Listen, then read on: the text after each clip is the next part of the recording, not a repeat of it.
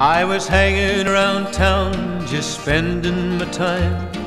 Out of a job, not earning a dime. A feller steps up and he said, I suppose you're a bronc fighter from the looks of your clothes. You figures me right, I'm a good one, I claim. Do you happen to have any bad ones to tame? He's got one, a bad one to buck. For throwing good riders, he's had lots of luck. I gets all head up and I ask what he pays to ride this old nag for a couple of days. He offered me ten and I said I'm your man. A bronc never lived that I couldn't fan. He said, Get your saddle, I'll give you a chance.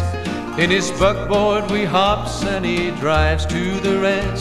I stayed until morning and right after chuck, I stepped out to see if this outlaw can buck. Down in the horse corral, standing alone, is an old caballo, a strawberry roan.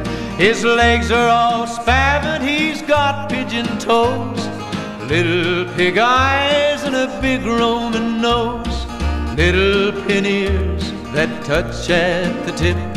A big 44 brand was on his left hip. Ewe neck and all with a long lower jaw. I could see with one eye he's a regular outlaw. I gets the blinds on him and it sure is a fright. Next comes my saddle and I screws it down tight. Then I steps on him and I raises the blind. Get out the way, boys, he's gonna unwind. He sure is a frog walker, he heaves a big sigh. He only likes wings for to be on the fly.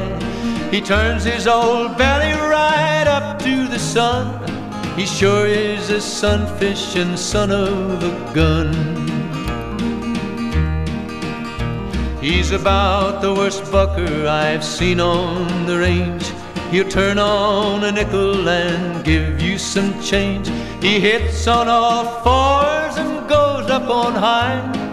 Leaves me a spinning up there in the sky. I turns over twice and I comes back to earth. A light's into cussin' the day of his birth. I know there are ponies that I cannot ride. There's some of them left, they haven't all died.